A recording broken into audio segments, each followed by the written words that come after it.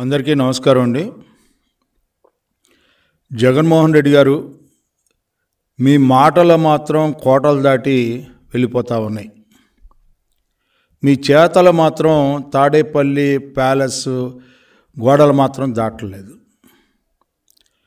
మీరేమో ప్రతి మీటింగ్లో ఈ రాష్ట్రాన్ని అన్ని రంగాల్లో రాజకీయంగా ఆర్థికంగా సామాజికంగా సంక్షేమ పరంగా నేను చేసినటువంటి అభివృద్ధి నభూతి నభవిష్యతి అని చెప్పి చెప్పుకోవటంలో సిద్ధహస్తులయ్యారు.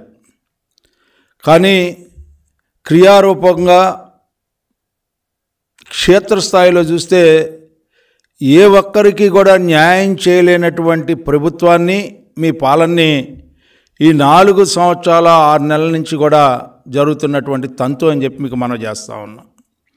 ఎందుకంటే ఈ రోజున రాష్ట్ర వ్యాప్తంగా నలభై లక్షల పసికూనల్ని కాపాడే ఆయాలు కానీ అంగన్వాడీ వర్కర్లు కానీ ఈ రోజున రోడ్డు మీదకి వచ్చి అంగన్వాడీ కేంద్రాలన్నీ మూసివేసినటువంటి సంఘటన మీ దృష్టికి వచ్చినా కూడా రానట్టుగా చర్చలు ఎవరితో జరిపారో ఎందుకు విఫలమైనయో కూడా తెలియనటువంటి పరిస్థితిలో ఈ రాష్ట్రంలో కొనసాగుతూ ఉందంటే పాలన అనేది ఉందా లేదా అనేది నేను అడుగుతా ఉన్నా జగన్మోహన్ రెడ్డి గారి సందర్భంలో. ఏమి అన్యాయం చేశారు? ఏమి నష్టం చేశారు? వాళ్ళు అడిగిన కోరికలు సహేతుకంగా లేవా? న్యాయపరంగా లేవా? ధర్మపరంగా లేవా? మీరు ఏం చెప్పారు? ఎన్నికల ముందు అప్పుడు అంగన్వాడీ వర్కర్లు కానీ హెల్పర్లు కానీ అందరినీ కూడా రెచ్చగొట్టి ఆనాడు మీరు ఏమని హామీ ఇచ్చారు అంగన్వాడీ వర్కర్లకి? నేను తెలంగాణ రాష్ట్రంలో అంగన్వాడీ కేంద్రాల కంటే ఎవరైతే పనిచేస్తూ ఉన్నారో ఆ వర్కర్ల కంటే హెల్పర్ల కంటే నేను ఎక్కువ జీత బత్యాలని ఇచ్చి మిమ్మల్ని అందరినీ కూడా ఆనందంలో ఉంచుతానని చెప్పినటువంటి మాటలు నీటి మూటలుగా మారిపోయాయా జగన్మోహన్ రెడ్డి గారని చెప్పి నేను అడుగుతా ఉన్నా. ఎందుకు వాళ్ళకి న్యాయం చేయలేకపోతా ఉంది ఈ ప్రభుత్వం? అంతేకాకుండా సంక్షేమం కూడా మీరు నవరత్నాల పేరుతో సంక్షేమాన్ని చాలా పెద్ద ఎత్తున ఈ రాష్ట్రంలో నేను చేసినటువంటి విధానం ఇంకెవరు చేయలేరు అని చెప్పి చెప్పినటువంటి మాటలు అంగన్వాడీ కేంద్రాల్లో పనిచేసే అంగన్వాడీ వర్కర్స్కి ఎందుకు దక్కట్లేదని చెప్పి నేను అడుగుతా ఉన్నా. వారికి గౌరవ వేతనం ఎంత ఇస్తా ఉన్నారు? గతంలో చంద్రబాబు నాయుడు కాలంలో నాలుగు వేల రెండు వందల రూపాయలు ఉంటే ఒకేసారి ఆరు వేల మూడు వందలు పెంచి పదివేల ఐదు వందలు చేసిన ఘనత ఆనాటి ముఖ్యమంత్రి ఈనాటి ప్రతిపక్ష నేత నారా చంద్రబాబు నాయుడు గారికి దక్కితే హెల్పర్లకి ఆనాడు ఆరు వేలు చేస్తే ఈనాడు నువ్వు పెంచింది ఈ నాలుగు సంవత్సరాల ఐదు నెలల కాలం నుంచి కేవలం వెయ్యి రూపాయలు పంచి పెంచి ఏమిటయ్యా నీ తంతు? ఏం చేస్తున్నావు? ఏం న్యాయం చేసావు నాలుగున్నర ఏళ్ళలో వెయ్యి రూపాయల పెన్షన్ మూడు వేలు ఇస్తానని చెప్పి రెండు వందల యాభై రెండు వందల యాభై రెండు వందల యాభై ఏడు వందల యాభై రూపాయలు ఇచ్చి నేను ఏదో పెద్ద ఏదో సంక్షేమం నేను చేశానని చెప్పి చెప్పుకునేటువంటి నీ మాటలు ఈ యొక్క పేదరికాన్ని ఏ రకంగా పోగొట్టగలవని చెప్పి నేను అడుగుతా ఉన్నా. ఇవాళ అంగన్వాడీ వర్కర్స్ కానీ హెల్పర్స్ కానీ లేకపోతే మినీ సెంటర్స్ ఉంటే మూడు వందల మంది ఉంటే ఆ మినీ సెంటర్స్ని మళ్ళీ అంగన్వాడీ కేంద్రాలుగా మారుస్తానని చెప్పినటువంటి నీ మాట ఏమైపోయింది అని చెప్పి నేను అడుగుతా ఉన్నా. సంక్షేమంలో వాళ్ళకి ఏమీ రాదు ఇళ్ళ పట్టాలు రావు లేకపోతే పెన్షన్ రాదు. ఏమిటి? ఎందుకు? సుప్రీంకోర్టు చాలా స్పష్టంగా చెప్పింది. ఎవరైతే ఇలాంటి కేంద్రాల్లో వర్క్ చేస్తూ ఉన్నారో వాళ్ళకి గ్రాట్యుటీ రావాలి. పెన్షన్ రావాలి. ఐదు లక్షలు లేకపోతే లంసంగా వాళ్ళకి రిటైర్మెంట్ దీంట్లో ఇవ్వాలి అని చెప్పి చాలా స్పష్టంగా చెప్పినా కూడా ఆ తీర్పులను కూడా లెక్క చేయకుండా ఈ రోజున వాళ్ళని కట్టు బానిసల్లాగా నోరెత్తితే మీరు అరెస్టులు చేసేలాగా ఉన్నారు ఎక్కడ కూడా ఉద్యమాలని చేయలేరు ఎక్కడ కూడా పోరాటాలను చేయలేరు. వాళ్ళ యొక్క ఆలోచనలు కానీ వాళ్ళ యొక్క విధానాలకి భంగం కలిగినప్పుడు వాళ్ళకి నష్టం జరిగినప్పుడు వాళ్ళు నిరసన వ్యక్తం చేసుకునేటువంటి హక్కును కూడా ఈ రాష్ట్రంలో కోల్పోయేలాగా ఈ రోజున నీవు ప్రవర్తించే తీరు సభ్య సమాజం ప్రజాస్వామ్య విలువలకి ఈ రోజున నీట ముంచినటువంటి ప్రభుత్వం నీ ప్రభుత్వం కాదా అని చెప్పి నేను అడుగుతా ఉన్నా. ఈ రోజున మీ అందరూ కూడా ఆఖరికి యాభై రెండు వేల ఐదు వందలు ఉన్న అంగన్వాడీ కేంద్రాలని పద్దెనిమిది వేల కేంద్రాలని నూతనంగా నిర్మించితే గత ప్రభుత్వం చంద్రబాబు నాయుడు కాలంలో నువ్వేం చెప్పావు? అంగన్వాడీ కేంద్రాలన్నింటినీ కూడా నేను నాడు నేడు లో స్కూల్స్ని ఏ రకంగా బాగు చేస్తానో అంగన్వాడీ కేంద్రాలను కూడా బాల వికాసం చెందేలాగా వాళ్ళందరి యొక్క మానసిక వికాసం చెందేలాగా స్కూల్స్ని నిర్మాణం చేస్తానన్నటువంటి హామీ ఇచ్చినటువంటి దాదాపు పద్దెనిమిది వేలు నువ్వు చేస్తానని చెప్పినటువంటి ఏ ఒక్క స్కూల్ అయినా చేసావా అని చెప్పి నేను అడుగుతా ఉన్నా. అభివృద్ధి నోచుకోవాలా? సంక్షేమం నోచుకోవాలా? పైగా ఈ రోజున వాళ్ళకి జీతాలని పెంచుతానని చెప్పి ఆ జీతాలు కూడా పెంచకుండా నీ ఇష్టం వచ్చినట్టుగా వ్యవహరించి ఇవాళ నలభై లక్షల మంది పసికోనలు పెంపకానికి ఆటంకం కలిగేలాగా వ్యవహరించినటువంటి విధానం ఈ రోజున చాలా బాధాకరమైన అంశం. ఎందుకంటే ఈ రోజున ఎందుకు వాళ్ళు బయటకు వస్తూ ఉన్నారని చెప్పి అడుగుతా ఉన్నా. ఎందుకు నువ్వు చేయలేకపోతున్నావు అని చెప్పి నేను అడుగుతా ఉన్నా. నువ్వు చాలా గొప్పగా నేను అందరికీ కూడా న్యాయం చేశానని చెప్తా ఉంది ఈ ప్రభుత్వం. ఎందుకు న్యాయం చేయలేకపోతున్నావు అని చెప్పి నేను అడుగుతా ఉన్నా. అంతేకాకుండా సంక్షేమం సంక్షేమం అని చెప్పి నువ్వు చెప్తా ఉన్నావు. ఏం సంక్షేమం చేసావు? ఏ రకమైన సంక్షేమం చేసావు? సంక్షేమంలో కూడా అవినీతి చేసినటువంటి ముఖ్యమంత్రి ఎవరైనా ఉన్నారంటే జగన్మోహన్ రెడ్డి గారని చెప్పు చెప్పుకోక తప్పదని చెప్పి మీకు మనం చేస్తా ఉన్నా. ఏ రకంగా నువ్వు అన్యాయం జరుగుతూ ఉంది? ఇవాళ వ్యవసాయానికి అన్యాయం జరుగుతూ ఉంది. తుఫాన్ వస్తే వ్యవసాయానికి ఈ రోజున వ్యవసాయదారులని ఈ రోజున ఆ నష్టపరిహారం ఇవ్వలేనటువంటి ప్రభుత్వం ఈ రోజున అసమర్థ ప్రభుత్వం నీ ప్రభుత్వం అని చెప్పి నేను మనం చేస్తా ఉన్నా. లేకపోతే ఉద్యోగస్తులకి లేకపోతే విద్యార్థులకి రియంబర్స్మెంట్ ఇవ్వలేనటువంటి ఉపాధ్యాయులకి సరైన సిపిఎస్ సిస్టాన్ని రద్దు చేస్తా అని చెప్పి రాగానే మరుసటి రోజు రద్దు చేస్తా అని చెప్పి మాయమాటలు చెప్పి ఎన్నికల్లో గెలిచిన తర్వాత ఎన్నికల్లో నువ్వు ఇచ్చిన హామీలు నేను తొంభై ఎనిమిది పాయింట్ ఐదు పర్సెంట్ హామీలను పూర్తి చేసిన ప్రభుత్వం నేను అడుగుతా ఉన్నా అంగన్వాడీ వర్కర్స్కి నువ్వు ఎన్నికల ముందులు ఏం చెప్పావు? ఇప్పుడు ఏం జరుగుతూ ఉంది? ఇది ఎన్నికల ముందులు ఇచ్చిన హామీ ఏ రకంగా నిలబెట్టుకున్నావు అని చెప్పి నేను అడుగుతా ఉన్నా. వాళ్ళు చేస్తున్న డిమాండ్స్ సరేని కాదా అని నేను అడుగుతా ఉన్నా.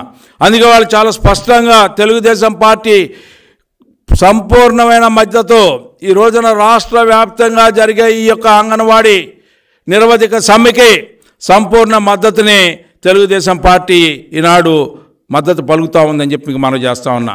అంతేకాకుండా వారికి ఇరవై ఆరు వేల రూపాయల జీతం ఇవ్వాలి అని చెప్పి సీనియారిటీ ప్రకారం వేతనాలు ఇవ్వాలని చెప్పి సుప్రీంకోర్టు ఏదైతే డైరెక్షన్స్ ఇచ్చిందో దాని ఆ తీర్పు ప్రకారం ప్రతి ఒక్కరికి కూడా గ్రాట్యుటీ రావాలని చెప్పి రిటైర్మెంట్ బెనిఫిట్ ఐదు లక్షలు వేతనంలో సగం పెన్షన్ ఇవ్వాలని చెప్పి మా డిమాండు. అంతేకాకుండా అంగన్వాడీ సంక్షేమ పథకాలు అమలు చేయాలి అంగన్వాడీలకి. అదేవిధంగా వేతనంతో కూడినటువంటి మెడికల్ లీవ్ సౌకర్యం కలగజేయాలి. ఇవాళ అంగన్వాడీలో పనిచేసే మహిళలకి ఏమిటయ్యా నువ్వు ఇచ్చింది మహిళలకి? మహిళలకి ఎన్నో మాయ మాటలు చెప్పావు. పది నలభై ఐదేళ్ళకి మూడు వేల రూపాయల పెన్షన్ అన్నావు. అది చేయలేదు. అదేవిధంగా ఈ రోజున మరి ముఖ్యంగా చెప్పాలంటే మద్యపాన నిషేధం చేస్తానో మహిళకి అది చేయలేదు డోక్రా సంఘాలకి రుణమాఫీ చేస్తానో అది చేయలేదు సున్నా వడ్డీలకి రుణాలు ఇప్పిస్తానో అది చేయలేదు. ఇవాళ మహిళలకి గుండు సున్నా చుట్టినటువంటి ప్రభుత్వం ఏదైనా ఉందంటే జగన్మోహన్ రెడ్డి గారి ప్రభుత్వం. పైగా ఈ రోజున మెటర్నిటీ లీవ్ కూడా ఇవ్వలేనటువంటి ఇది చట్టబద్ధంగా ఇట్స్ ఏ వైలేషన్ నేను అనేది కాన్స్టిట్యూషనల్ వైలేషన్. వాళ్ళ రూలు ఏ రకంగా అయితే యాక్ట్ పెట్టారో మహిళల కోసం మహిళల యొక్క మెటర్నిటీ లీవ్ను కూడా నువ్వు శాంక్షన్ చేయలేనటువంటి పరిస్థితి ఉంటే ఇంతకంటే ద్రోహం ఏముందా? మెడికల్ లీవ్ కూడా ఇవ్వలేనటువంటి పరిస్థితి ఉంటే అది ఆ మెడికల్ లీవ్ సౌకర్యం కల్పించాలని చెప్పి మీకు మనం చేస్తూ ఉన్నాం. అదేవిధంగా హెల్పర్ల ప్రమోషను వయో పరిమితిని యాభై సంవత్సరాల వరకు పెంచాలని చెప్పి గతంలో కూడా డిమాండ్ చేసాం దాన్ని యాక్సెప్ట్ చేస్తాం. రే ఈ నీ ప్రభుత్వం చేయకపోతే ఖచ్చితంగా రాబోయే ప్రభుత్వం చేయబోద్ది అని చెప్పి మీకు మనం చేస్తా ఉన్నా. అదేవిధంగా మూడు వందల జనాభా ఎక్కడైతే ఉందో ఇప్పటి వరకు మినీ సెంటర్లు నడిపినటువంటి ఆ మినీ సెంటర్ని అంగన్వాడీ కేంద్రాలుగా మార్చాలని చెప్పి అంగన్వాడీ విద్యని బలోపేతం చేయాలి. దేనికోసం ఈ అంగన్వాడీ కేంద్రాలు పెట్టాం? ఆ రోజున చంద్రబాబు నాయుడు గారి కాలంలో ఈ అంగన్వాడీ కేంద్రాలని గ్రామ గ్రామాన్ని పల్లె పల్లెకి ఒక్కొక్క గ్రామంలో దాదాపు ఏడెనిమిది మందికి ఉద్యోగాలు వచ్చేలాగా చేయటమే కాకుండా హెల్పర్లకి ఒక ఏడెనిమిది మంది వచ్చేలాగా చేయటం కాకుండా వాళ్ళకి పోషక ఆహారం ఇచ్చే దీంట్లో ఆ పిల్లల్ని మానసికంగా విద్యా వికాసవంతమైన సమాజంలో వాళ్ళు కూడా విద్యను నొచ్చుకునేలాగా ఎవరైతే దారిద్ర్యానికి దిగువనున్న పేదలు ఉన్నారో ఆ పేదల యొక్క పిల్లలకి అభ్యున్నతి కోసం ఏర్పరిచినటువంటి ఈ అంగన్వాడీ కేంద్రాలని సమూలంగా నీ మూలంగా నాశనం అయ్యే పరిస్థితి వచ్చింది జగన్మోహన్ రెడ్డి గారు అని చెప్పి ఈ రోజున ఉన్నటువంటి పరిస్థితి అది అని చెప్పి మీకు మనం చేస్తూ ఉన్నా. అంతేకాకుండా ఈ రోజున మీరు సంపూర్ణ పోషక పథకం కింద మీరు మెస్ ఛార్జీలు పెంచారా అని చెప్పి నేను అడుగుతున్నా. ఏ మేరకు పెంచారు? ఇవాళ ధరలు ఏ రకంగా ఉన్నాయి? ఆకాశాన్ని అండుతూ ఉన్నాయి. ఇవాళ మీరు అలాంటి ధరలు ఉంటే లేకపోతే గ్యాస్ వాళ్ళనే తెచ్చుకోమంటారు. గ్యాస్ ఏ రకంగా పెరిగింది? ఆరు వందల రూపాయలు ఉన్న గ్యాస్ కనెక్షను ఇవాళ పన్నెండు వందల రూపాయలు ఉంటే ఎవరు దీనికి బాధ్యులు అని చెప్పి నేను అడుగుతా ఉన్నా. నీ ప్రభుత్వం బాధ్యులు ఇంత ధరలు పెరగడానికి నీ ప్రభుత్వం బాధ్యులు అయితే ఇవాళ పేదలకి అన్నం పెట్టే సంపూర్ణ పోషక పథకం కింద ఈ రోజున నువ్వు చేయాల్సిన పని చేయకుండా ఛార్జీలు పెంచకుండా ఏ రకంగా ఈ రోజున ఈ హాస్టల్స్లో కూడా BC hostels SC hostels ST hostels ఎవరైతే కడు పేదవారు ఎవరైతే దారిద్ర్యకు దిగువన ఉన్న పేదవారు చదువుకునే హాస్టల్స్ ఈ గతంలో ఉన్న శాతం ఎంత ఇవాళ శాతం ఎంత అని చెప్పి నేను అడుగుతా ఉన్నా. ఎందుకు పడిపోతూ ఉన్నాయి? రో రోజుకి కూడా పడిపోతూ ఉన్నాయి. కరోనా దగ్గర నుంచి మనం లెక్కలు వేసుకుంటే కరోనా అంటే ఆ రోజున కరోనాలో హాస్టల్స్లో ఎవరు ఉండరు అని చెప్పి మీరు చూపించారు. స్టాటిస్టిక్స్ ప్రజలకి కరోనా మూలంగా తగ్గినాయి అని చెప్పి. ఇవాళ ఎందుకు తగ్గుతూ ఉన్నాయి? దేనికి తగ్గుతూ ఉన్నాయి? నువ్వు సరైన ఆ యొక్క సంపూర్ణ పోషక పథకం కింద ఇవ్వాల్సినటువంటి ఆ మెస్ ఛార్జీలు పెంచకపోవటం వల్ల అది తిండి సక్రమంగా పెట్టలేకపోవటం వల్ల ఇవాళ హాస్టల్స్ పేదవాడు ఈ యొక్క విద్య చదువుకోవడానికి నోచుకోలేనటువంటి పరిస్థితికి దారి తీసే విధంగా సంక్షేమం పూర్తిగా నీ యొక్క సంక్షేమం అవినీతిమయం అయిపోయింది కాబట్టి ఈ రోజున ఈ యొక్క పరిస్థితి దాపరించింది ఈ రాష్ట్రంలో అని చెప్పి మీకు మనం చేస్తా ఉన్నా. ఏ రకంగా విద్యా విధానాన్ని నువ్వు అమలు చేస్తూ ఉన్నావు. విద్యా విధానం సమూలంగా నాశనం చేసినటువంటి నాయకత్వం ఏదైనా ఉందంటే వైసీపీ పార్టీ నాయకత్వం వైసీపీ పార్టీ ప్రభుత్వం. మరి ముఖ్యంగా దీనికి కారణం జగన్మోహన్ రెడ్డి జగన్మోహన్ రెడ్డి జగన్మోహన్ రెడ్డి అని చెప్పుకునే విధంగా ఈ రోజున ఈ రాష్ట్రంలో పాలన జరుగుతూ ఉందని చెప్పి మీకు మనం చేస్తూ ఉన్నాం. అంతేకాకుండా ఎవరికైనా ఎవరైనా సర్వీస్లో ఉంటే ఆ గవర్నమెంట్ సర్వీస్లో పనిచేస్తూ ఉంటే ఆ సర్వీస్లో ఏదైనా ఉండి చనిపోతే కంపేషనేట్ అపాయింట్మెంట్స్ ఉంటా ఉంటాయి. నువ్వేమన్నా ఇస్తున్నావా? దాన్ని కూడా ఇవ్వనటువంటి దాన్ని కూడా అమలు చేయాలని చెప్పి సందర్భంగా కోరుతా ఉన్నా. మానవత్వంతో కూడినటువంటి అంశాలను కూడా నువ్వు పరిగణలో తీసుకోకుండా పాలన చేస్తున్నావు అంటే నువ్వు ఎవరి కోసం పాలన చేస్తున్నావు దేనికోసం పాలన చేస్తున్నావు అవినీతి కోసం పాలన చేస్తున్నావా? అవినీతి కోసం ఓట్లు వేయించుకొని నూట యాభై ఒక్క మంది శాసనసభ్యులు గెలిచి ఈ రోజున ఈ రాష్ట్రాన్ని అన్ని వనరులను దోచుకునే రాష్ట్రంగా ఈ రోజున అలాంటి నాయకత్వం నీ నాయకత్వం జగన్మోహన్ రెడ్డి గారని చెప్పి చెప్పుకోవాల్సిన అవసరం ఈనాడు దాపరించిందని చెప్పి మీకు మనం చేస్తా ఉన్నా. కనీసం హత్యకు గురి అయింది హనుమాయమ్మ. ఆ హనుమాయమ్మ కుటుంబాన్ని ఆదుకున్నావా అని చెప్పి నేను అడుగుతా ఉన్నా. ఏమిటి నువ్వు సాధించింది? ఎక్కడ నువ్వు ఎవరికి న్యాయం చేయగలిగావు? హత్య జరిగితే న్యాయం చేయలేవు? లేకపోతే ఏదైనా సర్వీస్లో ఉండే చనిపోయిన కుటుంబాలను ఆదుకోలేవు? లేదా పరామర్శ లేదు? పరదాలు కట్టుకొని ప్రజల దగ్గరికి వెళ్తావు? ఏమిటయ్యా ఈ రాష్ట్రానికి పట్టిన దాపరి ఈ రోజు నిజంగా ఈ రాష్ట్రానికి పట్టిన శని అని చెప్పి మనం చెప్పుకోవాల్సిన పరిస్థితి ప్రజలకు ఏర్పడింది. ఇలాంటి శనిని ఏ రకంగా వదిలించుకోవాలని చెప్పి ఈ రోజున ఉన్నటువంటి పరిస్థితి అని చెప్పి మనం చేస్తా ఉన్నా. గ్రేడ్ టూ సూపర్వైజర్ పోస్టులు ఖాళీగా ఉంటే వాటిని నింపడానికి కూడా నింపలేనటువంటి ప్రభుత్వం. నేనేదో ఉద్యోగాలు ఇచ్చానంటావు? నేనేదో చాలా ఉద్యోగాలు ఇచ్చానని చెప్తా ఉంటావు. ఎక్కడ ఖాళీలు ఉంటే ఏది అవసరమైందో నలభై లక్షల మంది పసికూనల్ని రక్షించుకోవడానికి రక్షించుకోవడానికి ఉన్నటువంటి ఆయాల్ని లేకపోతే హెల్పర్లని ఎక్కడైతే ఖాళీలు ఉన్నాయో ఆ ఖాళీలని కూడా నింపలేనటువంటి నీ ప్రభుత్వం. ఏమిటి ఏ రకమైనటువంటి ఉద్యోగ అవకాశాలను నువ్వు కల్పిస్తావని చెప్పి నేను అడుగుతా ఉన్నా. బ్రాందీ షాపుల్లో ఉద్యోగం ఇస్తావా? లేకపోతే చేపల కోట్లలో ఉద్యోగం ఇస్తావా? ఆ చేపల కోట్లు ఎక్కడ ఉన్నాయో ఇంతవరకు కనపడవు. బ్రాందీ షాపులు మాత్రం వర్ధిల్లుతా ఉన్నాయి. మద్యపాన నిషేధం చేస్తానని మహిళలకు ఇచ్చిన హామీ మాత్రం నీరు పాలైంది.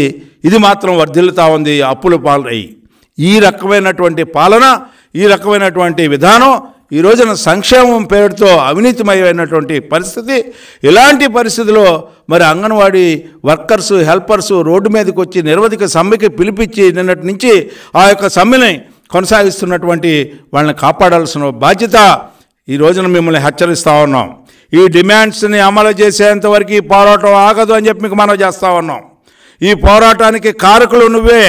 ఎందుకంటే నువ్వు ఇచ్చిన హామీ నీ హామీని నిలబెట్టుకోలేకపోవడం వల్ల ఈ పోరాటం ఈ రోజున రోడ్డుకి ఎక్కాల్సిన పరిస్థితి ఏర్పడింది. పోరాటంలో పాల్గొనాల్సిన పరిస్థితి వచ్చింది ప్రతి ఒక్క మహిళకి అదేవిధంగా అంగన్వాడీ వర్కర్లకి హెల్పర్లకి. నువ్వు నువ్వు ఇచ్చిన హామీలు నువ్వు ఏదైతే ఏ మాటలైతే చెప్పావో ఆ మాటలు మోసపూరితమైనటువంటి మాటలు అని చెప్పి చంపలేసుకొని ఒప్పుకోవాల్సిన పరిస్థితి ఏర్పడింది జగన్మోహన్ రెడ్డి గారు అని చెప్పి మనవి చేస్తూ ఈ డిమాండ్స్ని యాక్సెప్ట్ చేసేంతవరకు ఈ డిమాండ్స్ని మీరు ఆమోదం చేసేంతవరకు ఈ నిరవధిక సమ్మ కొనసాగిద్ది అని చెప్పి సందర్భంగా మిమ్మల్ని హెచ్చరిస్తా ఉన్నాం.